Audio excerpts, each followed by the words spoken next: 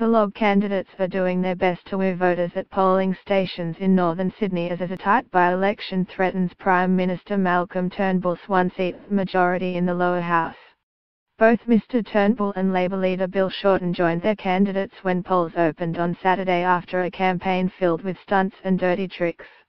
Polls indicate the major parties are neck and neck, and Mr Turnbull acknowledged it was a very, very close contest when he and Liberal candidate John Alexander met with voters at Gladesville Public School. Australia's security and prosperity depends on John Alexander being back part of our government, delivering more than 1,000 jobs a day, he said. Labor candidate Kristina Keneally was joined by Mr Shorten at Ryde East Public School.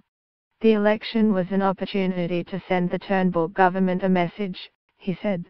We know this government is out of touch, and here in Bennelong the people have a chance to say, pull your socks up, mate. Ms. Keneally said there had never been a more important vote in the electorate.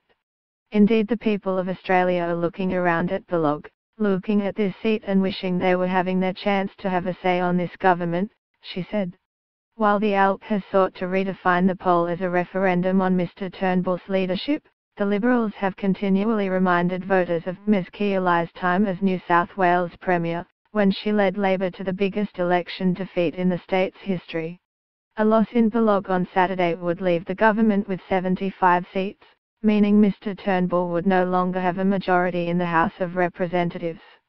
A Galaxy poll published in the Daily Telegraph has forecast a close result, with Mr Alexander holding a narrow 51 to 49 2 party lead over his Labour rival.